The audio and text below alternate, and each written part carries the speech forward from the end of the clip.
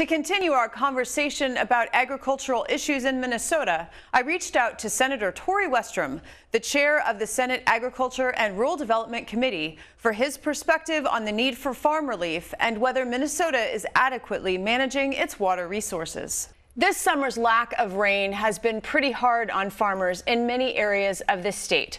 Crop yields will be lower in those areas. Also, the Department of Agriculture reported that the hay supply in Minnesota is at its third lowest level since 1950. What have you been hearing from farmers and producers? Well, Shannon, uh, thank you for the opportunity to talk about agriculture and the current uh, conditions and the drought that uh, many farmers have experienced this year. As the Senate Ag Chair, uh, we want to uh, make sure we can do everything we can to help uh, reinforce and help support our agriculture community and our farmers that do such a great job of feeding our state and uh, all of the, the country, really. Um, but the drought has been tough. Uh, we've been hearing from a lot of farmers. The livestock farmers probably the most concerned about the forage uh, and the lack thereof. Uh, the, the first crop of hay was looking real well, good, and it came in well, but uh, many farmers in August were telling me uh, most of their uh, second crop was was next to nothing. Third crop wasn't looking that good. Uh, fortunately, uh, some many prayers were answered with some good rains coming late in August, but in a lot of cases that was t- too little, too late, uh, especially for the crop farmers. But um, livestock and the forage concerns of getting through winter. Uh, many were able to make it through this fall, but I grew up on a farm, a dairy farm myself, and I know how important that forage is to have enough in the shed or in the haylage pile to uh, make it through the winter months. And that's the concern uh, that right. they have to get in from so far away. So, to that end, Governor Walz has proposed $10 million in aid to farmers. $5 million would be in rapid response grants, particularly for livestock producers and specialty crop producers. And then $5 million in zero interest loans through the Rural Finance Authority. What are your thoughts on this proposal? Well, uh, we have been talking with the ag commissioner and uh, the governor's office on this proposal, uh, talking with many farm groups, and uh, we are open to this proposal, open to the idea of giving some one-time uh, uh, rapid assistance to farmers that are affected. And many, many of us are talking about the target and need for targeting it towards the livestock industry mostly in agriculture.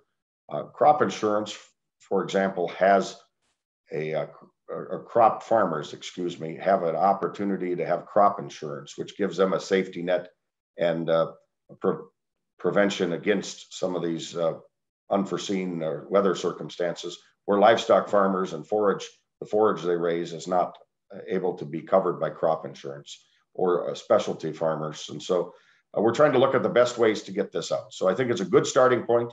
Uh, we are looking at maybe property tax rebates as, as well, or in addition, or instead. Right. Uh, and, I, and I did so, want to ask you about that. What what's the idea behind the property tax rebate? And then for those farmers that rent land, because land is very expensive, would they not be eligible for that? Well, we would we would want to help the farmer because they're the ones actively engaged in this uh, business. Uh, they have the risk, they have the fixed expenses uh, to, to cover in their operation. Uh, if they're renting some of their uh, pasture land or, or land, uh, they are paying it through rent because rents uh, reflect all the costs for the landowner. So we are working through some of those details, but we have a history 20 years ago with under Governor Ventura, we did a property tax rebate for farmers.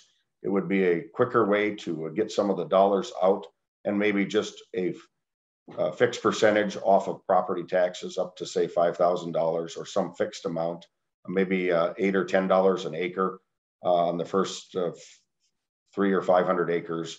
Uh, those are just some ideas that we're talking about, trying to work through uh, these ideas and uh, we could get them out quicker. The property taxes are a fixed cost that all farmers, livestock farmers as well would have in their operation. And if we could get them a a one-time supplement drought aid check for that. It could help cover some of these costs of property taxes or the higher cost of bringing in forage, hay from out of state. Um, I was I was at a meeting this morning in Alexandria at an ag business uh, meeting uh, at Alex Tech.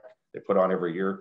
Uh, they were talking about many farmers having to look at southern Iowa, Missouri, and uh, that far out for bringing in forage, and that's that's quite expensive, hundred dollars a ton or, or or more. So it certainly seems like the governor and lawmakers are interested in an aid package for farmers. Uh, if there is a special session, are you hopeful?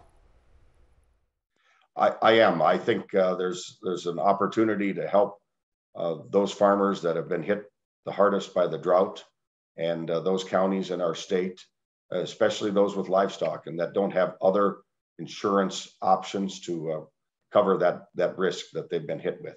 Um, uh, again, we are we are very thankful. Uh, the prayers have been answered with the rains that we've recently had, but we have a lot of lot of moisture to replenish in the soil. Um, ironically, uh, another positive side of this, uh, the breakfast I was ag breakfast I was at this morning. Uh, some of the farm business manager managers that were presenting were uh, pleasantly surprised with some of the yields that beans and uh, corn have been bringing in in certain areas. So this is very uh, spotty throughout the state, and uh, soil conditions is a is a big part of it.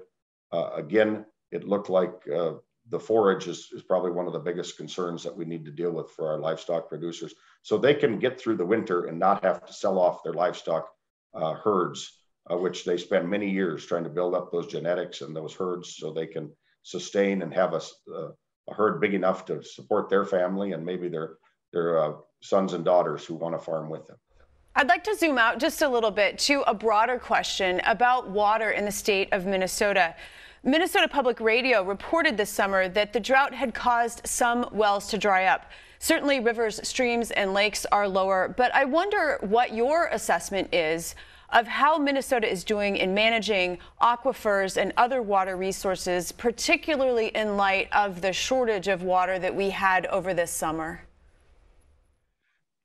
Well, it's always uh, a concern uh, that we have uh, adequate water resources. Uh, the aquifers are a great a natural resource that our farmers can tap.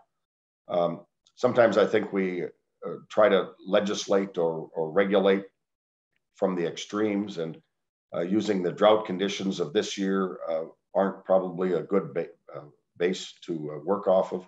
Just like two years ago, uh, when we had so much water, we had a local river in my home county that was just running running wild. They couldn't even get a road project finished because they couldn't slow the, the water down enough. where this year the river was just about dry, and so nature is fickle. It does ebb and flow and so we don't want to react or overreact. Uh, uh, but it has shown us how important our aquifers are.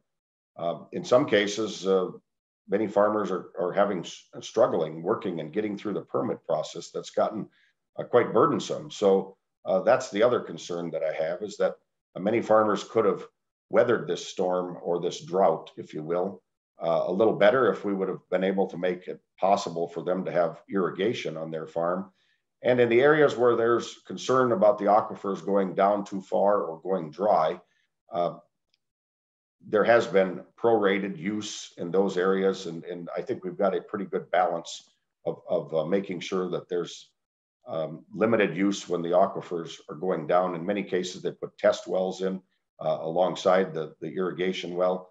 Uh, but you know, Mother Nature recharges those very fast in most cases. And so uh, I think it's uh, put an exclamation point on how important irrigation is to our farmers and the specialty crops that many of them raise uh, because of irrigation. So we want to have a, a good environment, uh, regulatory environment to allow irrigation and uh, but also watch out that those aquifers uh, can stay healthy and uh, you know more rain recharges them quickly.